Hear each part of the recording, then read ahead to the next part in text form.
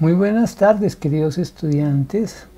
Estamos en la sesión número 7, que sigue siendo poniéndole cuerpo a mis emociones, en este caso la parte número 2.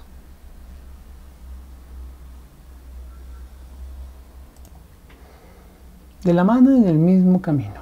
Quiero saludar a Gisela, Mayra Gisela, que nos acompaña en Tumaco desde ahora y que va a acompañar el proceso de los estudiantes en Tumaco. Bienvenida al combo.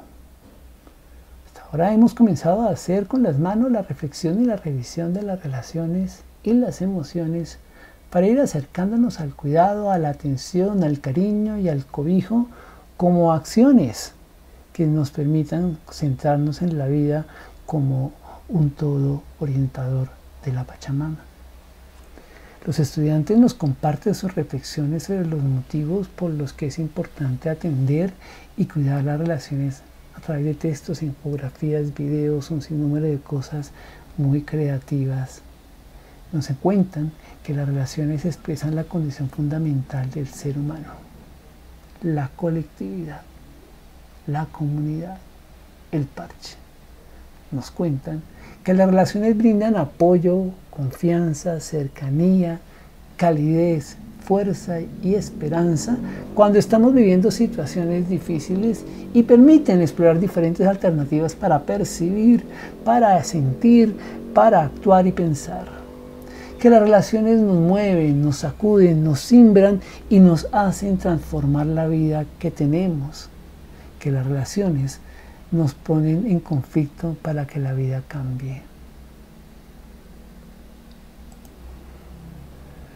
Nos comparten también los estudiantes que para que esas relaciones sean cuidadas y atendidas hay que dedicarles tiempo, escucha, atención, cuidado, sinceridad, comprensión, respeto. La vida es relaciones diversas que nos van juntando con el entorno y los seres vivos. Somos las relaciones que nos atraviesan, que nos hacen. Somos el manojo de relaciones que nos permiten vivir. Parece sorprendente percibir que somos porque nos hacemos en comunidad, que dependemos de lo que nos rodea, de la vida que huye y nos hace vibrar que necesitamos de los demás, el aire, el fuego, la tierra, agua, luz, calor, humedad, fuerza, animales y plantas, que estamos ligados con la vida en la Pachamama. Es sorprendente porque estamos acostumbrados a vivir en contra o en frente o en competencia con los demás, temiendo encontrarnos y resolviendo los conflictos desuniéndonos. Nos hemos acostumbrado al maltrato, a la humillación, a la explotación que asignan las relaciones en la sociedad capitalista. Nos sorprende la vida colectiva que somos porque nos han enseñado a creer que el capital es la única forma de vida posible. Una vida en la muerte. Contradicción que es necesario abordar para recrear la vida compartida en dependencia, compañía, cuidado y dedicación. Necesitamos la comunidad que somos. Los estudiantes nos han enseñado que los motivos para atender y cuidar las relaciones son la colectividad que somos con la vida en la Pachamama, la solidaridad que nos teje, la confianza que nos acompaña y la complicidad que nos hace respirar juntos.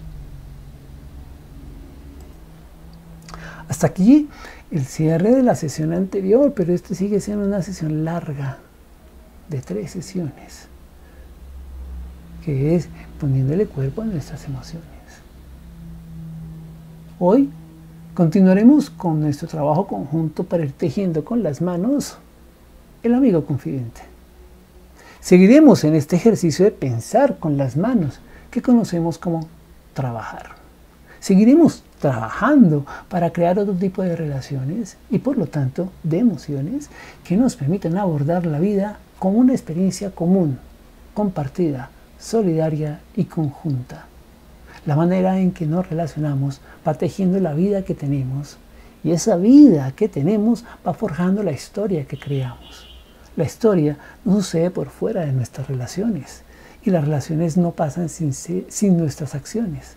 Lo que hacemos, nuestro trabajo, hace las relaciones y la historia. Con nuestros trabajos hacemos la historia. Por lo tanto, la historia no es una señora pomposa que anda bien vestida imponiendo la pobreza a los muchos y confirmando la riqueza de unos cuantos. Esa señora solo es la imagen de la historia que algunos divulgan para arrebatarnos nuestro trabajo, nuestra juntanza y nuestra historia y hacernos creer que no podemos hacer nada, que todo ya está definido, que ellos tienen el poder y nosotros solo nuestras manos, nuestro trabajo. En últimas, que los que no trabajan son los poderosos y los que trabajamos debemos callar y obedecer los designios de una historia vestida de fatalidad, de designio y de destino.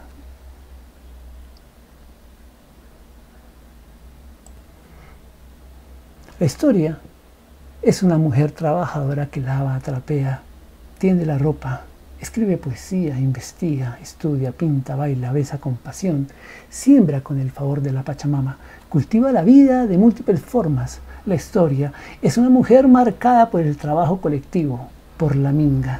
La historia es fruto del trabajo. Es el producto de nuestras manos, aunque nos digan que las tenemos atadas o empuñadas contra el otro como forma de competencia y emprendimiento. Nuestras manos están intercruzadas, tomándose para hacer un conjunto, porque no hay forma de vivir si no es en comunidad, en solidaridad, en compañía, en apoyo, en dependencia y en confianza. El trabajo que somos es una constante producción de vida colectiva. Es una propuesta para buen vivir en Minga por lo que nos pide mirar, estudiar, preguntar, proyectar, planear, trazar, armar, hacer, revisar, corregir, seguir, transformar. Todas esas acciones son colectivas y por ser acciones provocan cambios, transformaciones que nos van haciendo otros, nos van modificando. La vida con la que nos vinculamos es metamorfosis constante creación colectiva y solidaria.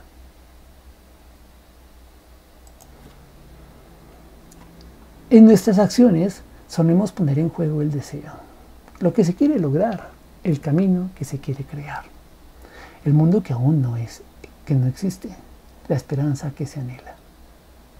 Las acciones son creaciones materiales que construyen el mundo concreto que queremos forjar. Por ello, en la historia se concreta la vida colectiva que queremos y esa vida nos pide preverla, proyectarla, planearla, llevarla a cabo a muchas manos. Nos pide, por lo tanto, juntarnos y organizarnos para hacerla. La historia es fruto de nuestra entrega común, de nuestro compromiso solidario, de nuestra esperanza compartida y de nuestro trabajo colectivo. La historia está en nuestras manos y nos pide que trabajemos juntos para que tome nuestra forma. Como la vida solo se puede en colectivo, como la comunidad y la solidaridad son los elementos básicos de la vida en la Pachamama, nuestras vidas están trenzadas para hacernos una historia común, una historia humana atada, tejida trenzada con las vidas en la Pachamama. No hay historia humana encima o por fuera de la vida en la Pachamama. En la, Pachamama. la historia humana es un pedacito, una gota de, en el océano de vida, una pizca posible en la Pachamama. Esa historia común con la vida está por ser escrita, por ser trabajada, porque la historia que a la humanidad le han impuesto es la del saqueo, la dominación, el exterminio, el sometimiento, la competencia, el triunfo, el éxito, la ganancia, la explotación y la violencia. Es la historia de la muerte. Hoy no hay duda, la vida en el modo capitalista de producción es una expansión de la muerte en diferentes formas. El capitalismo ha puesto, ha impuesto como historia el destino manifiesto de unos para el sometimiento, la explotación y el exterminio de toda la vida al convertirla en recurso recursos naturales y recursos humanos. Todo se convierte en mercancías, cosas con valor y precio, para sacarles ganancia y beneficio. Una historia de muerte que está matando la vida. En nuestras manos está hacer una historia para la vida compartida. Una historia en la Pachamama. Y ello implica dejar de lado una historia de la muerte y para la muerte. La violencia y el despojo son una forma criminal, despiadada y tanática de relación que ciertos seres humanos han impuesto como única y posible. Con ella creen que nos han encadenado las manos, que las han desentrelazado, que nos han desunido. Con ella han ido matando la vida en un minuto dentro del amplio devenir de la Pachamama. La vida toda, pero especialmente la humana, está en riesgo de desaparecer. Hoy sabemos que los seres humanos pueden desaparecer y la Pachamama, lesionada, podrá seguir creando vida, pero no humana. Seguirá viviendo un tiempo herida, pero no morirá. Nosotros sí. Ellos. Ello no es un destino, sino el resultado de un modo específico de producción, el capitalismo. La muerte parió al capitalismo, el asesinato y la violencia lo amamantaron, el exterminio y la explotación lo educaron y en su camino devastador se está llevando en unos cuantos años la vida humana y gran parte de la vida que la Pachamama ha albergado durante millones de años. Nuestros actos en vía de crear las relaciones centradas en la vida toda de la Pachamama, pueden y deben enfrentarse a la lógica de destrucción y de muerte, de violencia y de despojo, de miseria y de hambre, que el mundo, modo capitalista de producción ha ido imponiendo como destino manifiesto para unos cuantos y condena para nosotros, la mayoría. Entonces, ¿qué acciones haremos? ¿Qué trabajo forjaremos? ¿Qué relaciones tejeremos para que nuestra vida, que creemos, que creamos y que tenemos, invente otra historia? Esa es nuestra tarea para esta semana, ir pensándonos otra historia, ir pensándonos, ir trabajando otra historia, ir creando otras acciones. Entonces esta semana, ¿qué haremos? ¿Qué haremos? En la cátedra hemos ido abordando las emociones y las relaciones. Hemos sabido que las situaciones difíciles son parte de la metamorfosis que la vida provoca en nosotros. Que con cambios compartidos, que con solidaridad básica y con vínculos vitales, la existencia en la Pachamama es posible. Por lo tanto, les vuelvo a invitar que se junten, que trabajen en grupo. Y ahora, hoy, les propongo se mezclen, que se rejunten con otros grupos, que no solo trabajen con los grupos con los que vienen trabajando, sino que vayan a parchar con otros grupos, que hagamos una mejor comunidad. Organicen con los monitores y los profesores encuentros entre los grupos que vienen trabajando.